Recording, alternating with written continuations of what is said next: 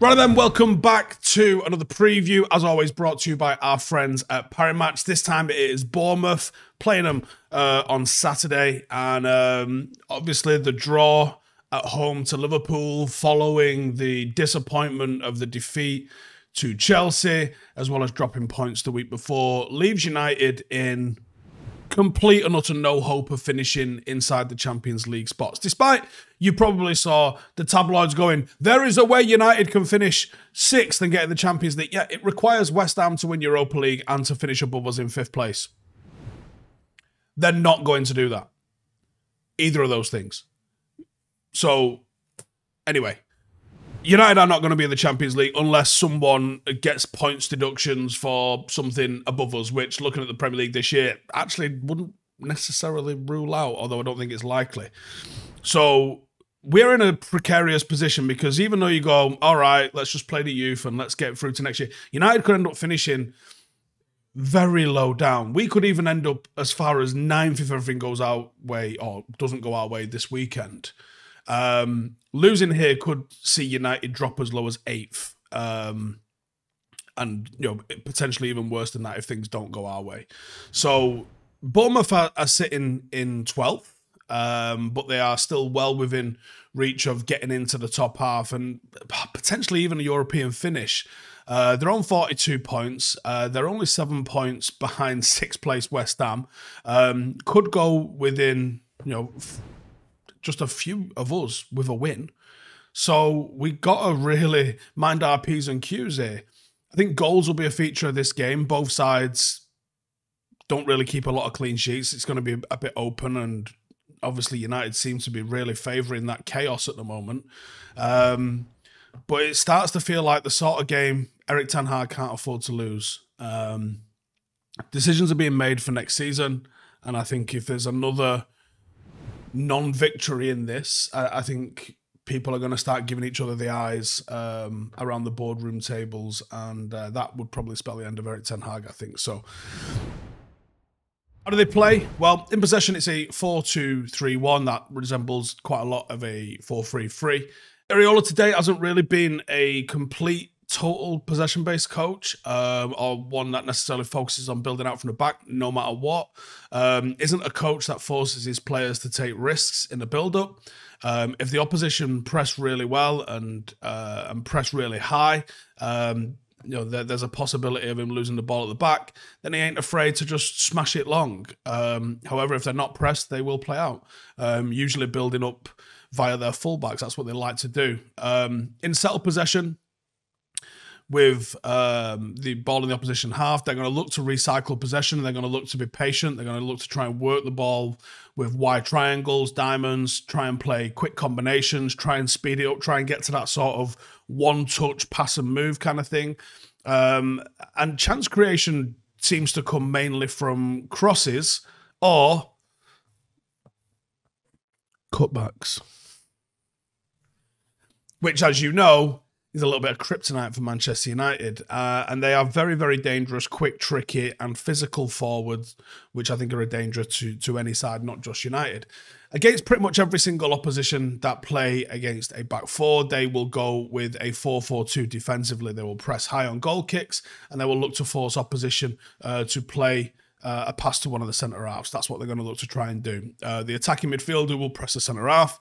Um, that receives it, and then the striker will look to try and pass, uh, cover the pass back to the goalkeeper. Uh, the man marking element seems to come with the ball, um, the ball side winger, um, sort of trying to cover the fullback, and then one of the DMs will try and mark the opposition single pivot while the other one pushes onto the ball side midfield. If that gets broken down, then the opposition uh, start to go long. Then they'll quickly recover into a 4 4 2 mid block. Uh, and then they will look to try and stay compact, stop any central space passes, and try and force the opposition to go wide. From there, they can look to win the ball back um, and either counter or force the opposition to play backwards. And then they'll move their defensive line further up the pitch. So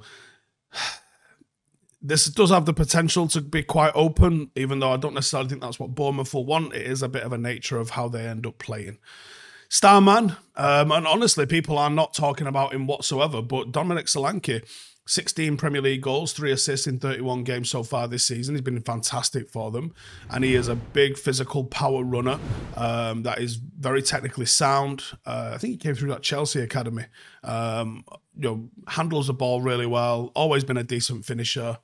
Finding his level really being like a, a starting Premier League striker that's reliable. And if it's someone that can get close to 20 goals, mate, that, there's going to be a lot of people that would want that sort of player in the team. In terms of United, um, I'm going to keep pushing for moving Bruno over to one side.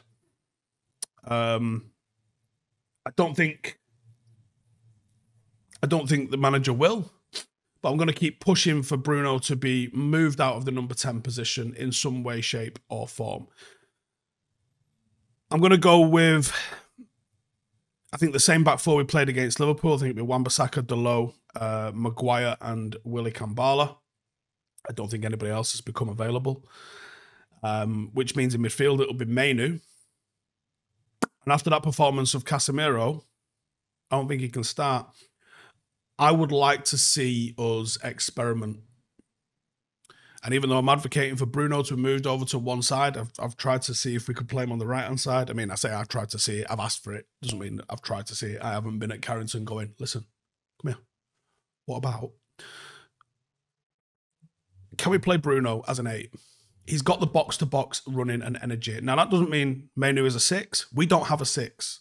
So I'm looking to try and cover the ground here a little bit and bring Mason Mount into the team because I think those three maybe can control the ball. The other option is Christian Eriksen. I don't know the, the status of him and the match fitness. I feel he's behind Mason Mount in that, and I feel like Mason Mount would be more suited to this sort of game. Otherwise, can we play Mason off the right hand side? I just want a bit more control in there. United seem to be just playing far too many forwards and not enough control. You know, everyone's a forward. Even Bruno is a forward, really.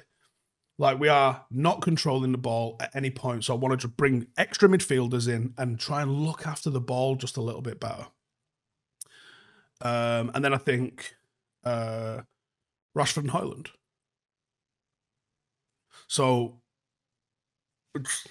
I guess and Garnacho on the right if he's if he's not going to play Mount there, if he's going to play um, Bruno in the ten, then Mount off the right. If it's you know, does he have the balls or can we play with Bruno and Mainoo as a pair of sixes or as a pair of energetic eights? Uh, I don't think so, but you know, I'm just trying to think options. Bruno can do that deep line role. He's got the range. I think the one weakness you could argue in Kobbie Mainoo's game at the moment is he doesn't seem to have the passing range. Bruno would. And you need those forward passes. No point Bruno trying to get on the end of things when you haven't got the people that can get it to him for him to get on the end of things. So let's bring him back and try and have him dictate a play. Like he can be an 80 pass kind of guy. We've seen it in the, the Everton game last year. I'm going to put my, I want to see Bruno, Mainoo as a pair of sixes with Mount ahead of them. Almost call it three eights, if you will. That's what I would like to see. And then you can go with Garnacho, Hojlund, and um, Rashford up front. Or if you don't want to play Rashford or you don't want to play Garnacho, pick whichever one. Bring Amad in. Do that. Anyway, match winner, um, Mason Mount. Uh, Bruno's out of form. I think Mount brings a lot, and I think he's got a lot to prove, and I think he's going to want to finish the season strong because it's not been a strong season for him. He's a bit of an asset out of possession, and I think he's a real asset in possession. This midfield needs a spark. It's a big area of weakness for United. That's why I'm sort of desperate to change something because I think we can change something, and I think bringing Mason Mount in might be the something that we can change. Now, as I said at the top of the video, this is brought to you by our friends at Parimatch, like all of our previews. And Parimatch have a completely free to play football prediction game called Hat Trick Hunt. Every single week, you will get the chance to predict just three scores from the Premier League, uh, and you'll get free rewards for every correct score that you make. If you get all three correct, you'll be rewarded with a £50 free bet. It is that simple and it's completely free to play. Here's what I'm going for with the Hat Trick Hunt predictions this week. I'm going with City to beat Luton 4 1. I thought about this being like a four or five nil job, um, but I feel like Luton might give an, an early scare. Maybe not score first, But I think City probably take the lead. Luton grab one back. Everyone start flapping, and then City just go on and, and win the game. Liverpool versus Palace. Crystanbul, this will not be, unfortunately, as much as we'd all like to see it completely crumble for them. I think Liverpool just get the job done. At home, they are weirdly effective, and Palace are poor. So I think a 2 0 straightforward win for Palace. But there's going to be some action in the title race this week, and I think it will be Aston Villa, Unai Emery causing a massive upset. Arsenal have had a tough game midweek. They've had some question marks placed over them, and I think that they'll have Champions League on their mind a little bit and take their eye off the ball. And I think Aston Villa grab a 1 0 cheeky win at the Emirates and send Arsenal fans into absolute meltdown. That's how I think it's going to go, if you agree let me know in the comments. If you disagree, let me know in the comments. And if you'd like to get involved yourself, just click the link below. You've got to be 18 to play. Full T's and C's do apply. Cheers to Parimatch for sponsoring this video. And like we said, got to be 18 plus and all those good stuff. Uh, bonuses will expire in seven days. Uh, the prizes do include free bonuses and they will be credited within 24 hours of the last event. First of all, fullbacks have got to be on it. I think Dalot's been pretty good lately. And I think uh, Wan-Bissaka just coming back to regular football probably be okay.